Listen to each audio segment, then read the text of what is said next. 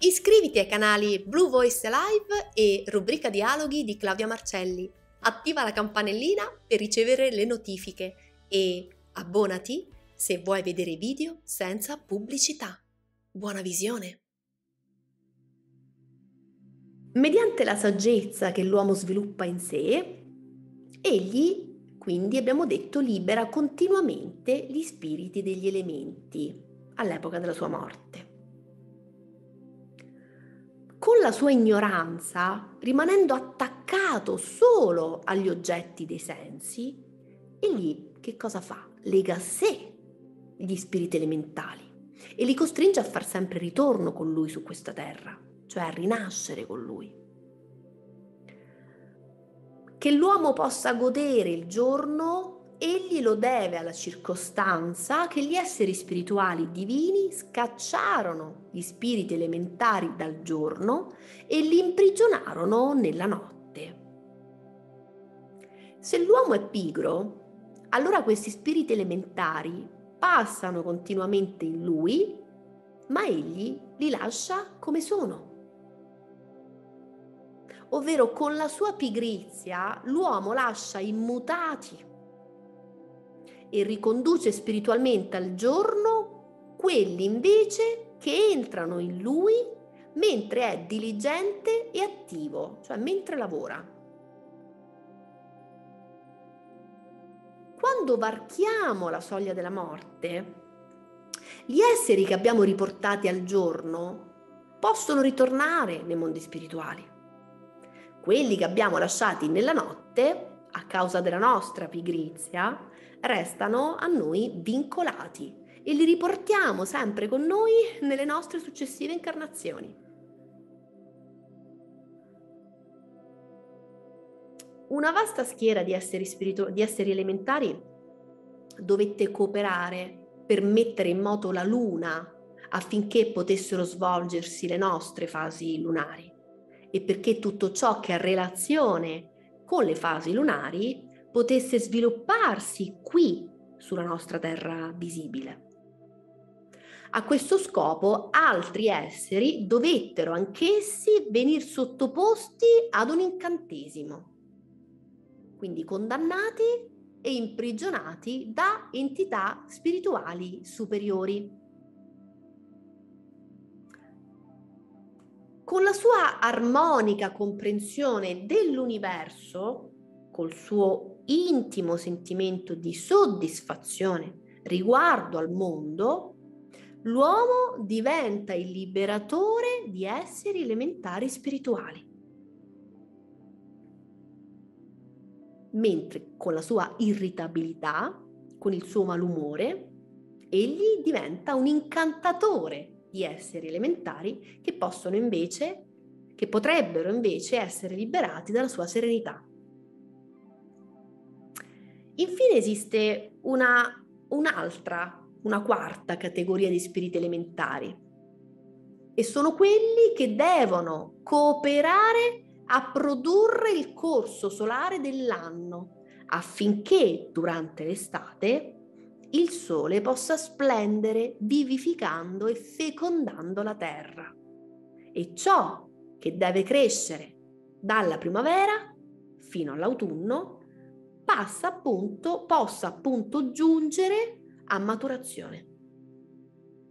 A questo fine, dati spiriti devono venire incatenati nell'inverno, ovvero devono subire l'incantesimo durante il periodo del sole invernale. Pensiamo ad un uomo che verso la festa di Natale coltivi in sé sentimenti sempre più devoti, che impari a conoscere tutto il significato del Natale. Quando la vita del mondo esteriore fisico è proprio ridotta al minimo e in compenso lo spirito deve essere tanto più vivo.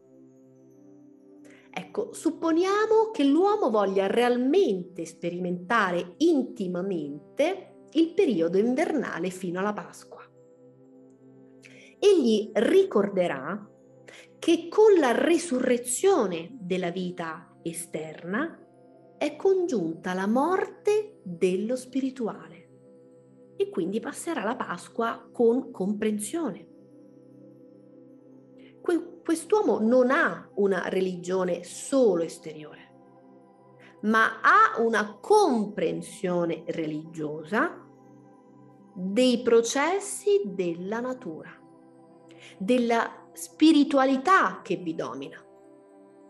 E con questa sua devozione, con la sua spiritualità, egli libera quella, car- quella quarta classe di spiriti degli elementi che sempre entrano nell'uomo e che sempre ne escono e che sono legati al corso del sole.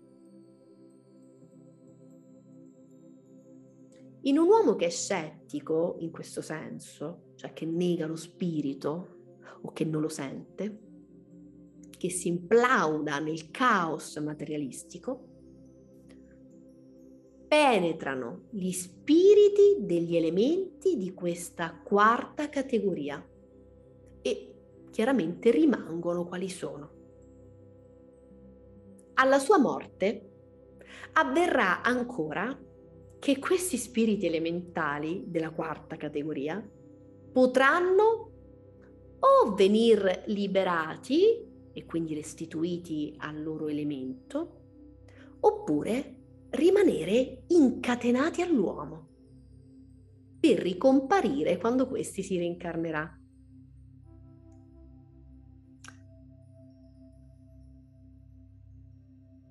Guarda il fuoco e il fumo se ti unisci al mondo esterno in modo che il tuo processo spirituale animico somigli a ciò che avviene quando si produce fuoco e fumo, in modo che tu stesso spiritualizzi le cose nel tuo processo di conoscenza e di sentimento, allora tu aiuti certi spiriti degli elementi ad ascendere.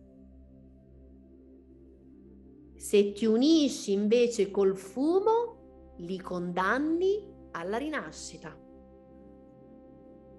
Se ti unisci al giorno, liberi ancora gli spiriti del giorno. Guarda la luce, il giorno, la luna crescente, la metà assolata dell'anno. Se agisci in modo da ricondurre gli spiriti degli elementi alla luce, al giorno, alla luna crescente, all'estate, allora alla tua morte liberi questi spiriti degli elementi che ti sono tanto necessari ed essi ascenderanno al mondo spirituale. Ma, ma se ti unisci al fumo, se passi ottusamente dinanzi a ciò che è solido, se ti unisci alla notte con la tua pigrizia, se ti unisci agli spiriti della luna calante col tuo malcontento, se ti unisci agli spiriti che furono incatenati durante l'inverno col tuo negare il Dio, con la tua assenza di spiritualità, allora condanni questi spiriti degli elementi a rinascere con te. Mm? Qui ci appare in tutta la sua importanza l'enigma umano, quando diveniamo consci che con tutte le nostre azioni, perfino col nostro umore, influiamo su tutto un cosmo, che il nostro piccolo moderno interno è di un'importanza immensa per tutto ciò che avviene nel macrocosmo. Proprio questo accrescimento del senso di responsabilità è la cosa più bella, è la cosa più importante che possiamo ricavare dalla scienza dello spirito. Ma ora vediamo i quattro stati planetari.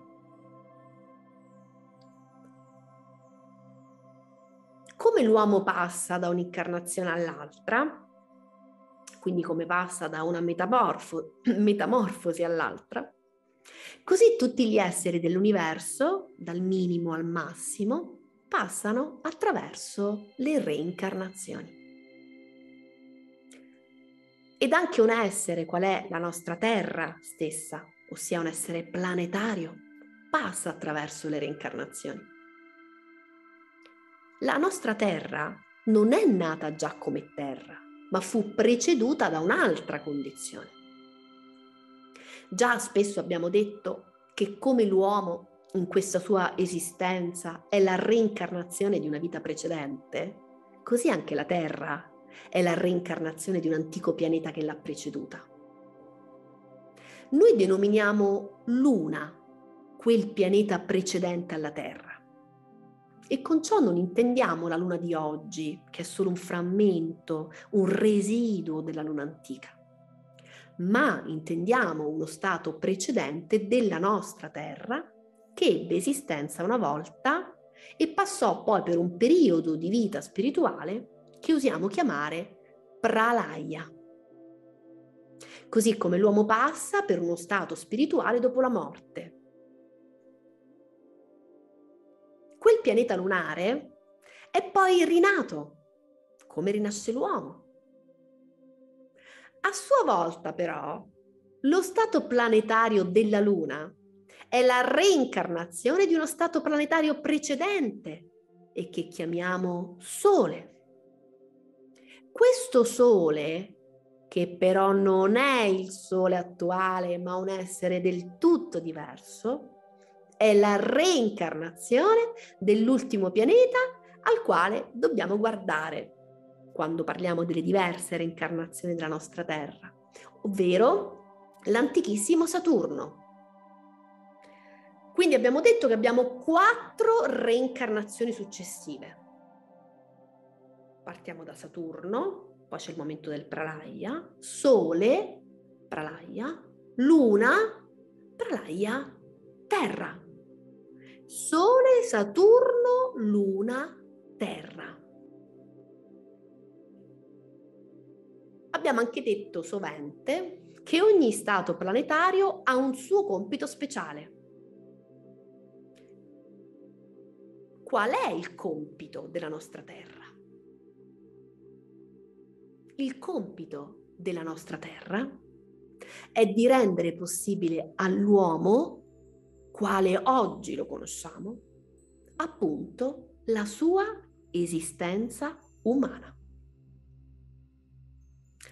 tutti gli effetti della nostra terra sono tali che per essi l'uomo diventi un'entità egoica, un io, il che non avveniva negli stati precedenti per i quali egli è passato. Dunque l'uomo è diventato uomo, nel senso attuale, solo qui sulla Terra. anche gli stati planetari precedenti, per cui la Terra è passata, ebbero un compito analogo. Altri esseri divennero uomini su quegli altri pianeti. Esseri che appunto oggi stanno più in alto dell'uomo. Un'importante verità è che gli dei una volta furono uomini. Mm? Se contiamo in senso spirituale i gradini della scala dei regni cosmici, possiamo quindi dire di avere visibili sulla Terra il regno minerale, il regno vegetale, il regno animale e quello umano. Poi si passa all'invisibile e si ha il regno degli angeli, il regno degli arcangeli o spiriti del fuoco, il regno delle arcai, che sono i principati, ovvero gli spiriti della personalità. Mentre queste entità riguardo al loro essere e divenire inferiore, progredivano così da uomini a dei o a messaggeri divini, questa è una denominazione giusta per tali entità, mentre dunque essi salivano ad un'esistenza spirituale, si modificavano anche le condizioni del pianeta sul quale e per il quale esse vivevano se guardiamo in indietro all'antico Saturno sul quale le arcaie erano uomini, lo troviamo ben diverso rispetto alla nostra Terra. E ora lo vediamo. L'antico Saturno dunque era costituito unicamente dall'elemento del fuoco, del calore. La nostra esistenza terrestre cominciò nella sua prima metamorfosi come pianeta di calore. Ecco che l'uomo di Saturno, lo spirito della personalità, doveva formarsi di calore, di fuoco, in tutto il suo corpo. E così faceva, infatti. Lo spirito della personalità sull'antico Saturno aveva soltanto un corpo di calore. E il suo corpo consisteva unicamente di fuoco. Questa è la peculiarità dell'evoluzione di Saturno per così dire, il calore gradualmente si trasforma dall'inizio di Saturno, quando è calore puramente interiore, fino all'epoca finale, quando diventa calore esteriore, cioè percepibile. Quindi di questa condizione si può dire e gli spiriti covarono nel calore e portarono veramente a maturazione i primi corpi di fuoco. Dallo spazio cosmico vennero covati i primi corpi di fuoco. Se c'è lecito usare l'espressione, possiamo dire dall'interiorità si coagularono nello spazio di calore le uova di calore esteriore. In realtà gli spiriti della personalità generavano di continuo quelle uova di calore e nuovamente le facevano sparire. Avremmo percepito come una respirazione dell'intero Saturno, ma una respirazione di fuoco. vogliamo ancora adoperare un'espressione alla buona che ci renderà la cosa ancora più chiara. A taluni spiriti della personalità piacque, me, mm, piacque meglio, per così dire, di non riassorbire tutto il calore espirato, ma di lasciarne via via indietro una parte, sicché al momento dell'ispirazione non tutte le uova di Saturno scomparvero ma alcune rimasero. Così a poco a poco si produsse su Saturno una dualità. Si ebbe del calore interno e accanto a questo il calore esterno incorporato nelle uova di Saturno. Quindi non tutto venne riassorbito gli spiriti della personalità abbandonarono, per così dire, a se stesso una parte del calore ispirato, lo lasciarono esistere fuori di loro. E la domanda nasce spontanea, perché lo fecero? Dovettero farlo poiché altrimenti non sarebbero potuti diventare uomini su Saturno. E che cosa significa diventare uomo? Significa arrivare alla coscienza dell'io. Non lo si può se non si è in grado di distinguersi come io da un mondo esterno. Solo per questo fatto c'è un io.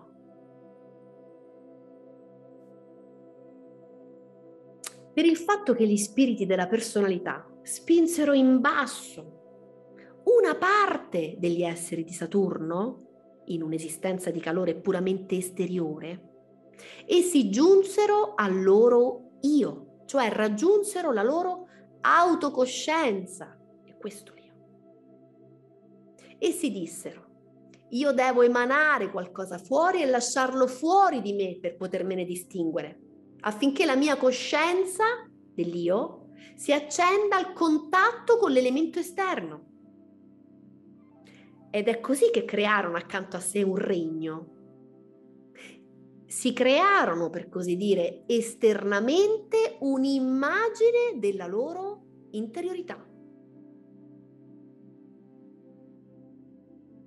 Ne derivò pure che quando la vita di Saturno fu compiuta, gli spiriti della personalità non furono affatto in condizione di far scomparire Saturno.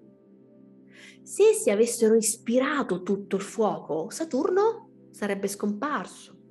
Ma così essi non furono in grado di respirare ciò che avevano esteriorizzato. Ecco che dovettero abbandonare a sé il campo che aveva dato loro la possibilità di giungere all'autocoscienza.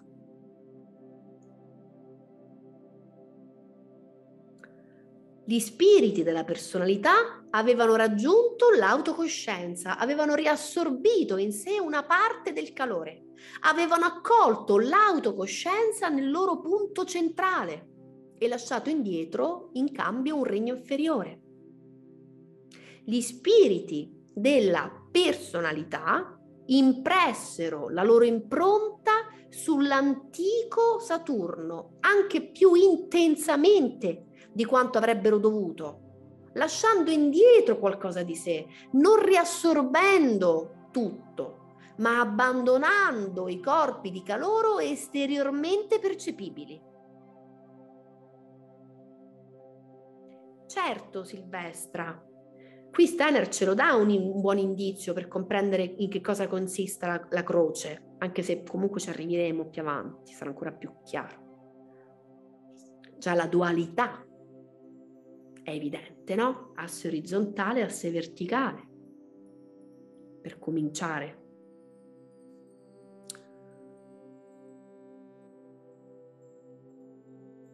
Dunque, qual è la forza che domina negli spiriti della personalità sull'antico Saturno?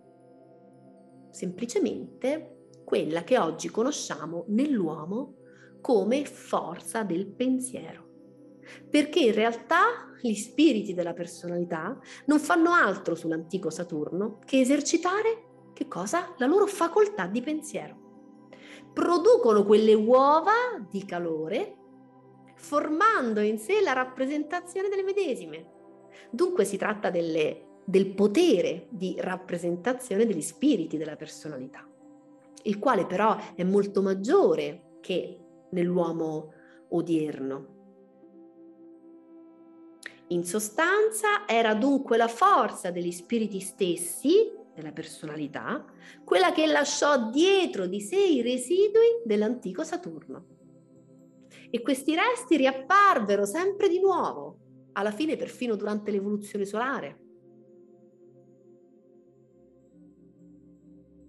Ora, poco dopo, intervenne il regno dei troni a disciogliere quel regno inferiore lasciato indietro dagli spiriti della personalità, dopodiché Saturno entrò in una specie di notte planetaria a cui seguì l'alba planetaria. E qui andiamo alla terza parte, per cui torno fra poco, fra qualche secondo. Grazie.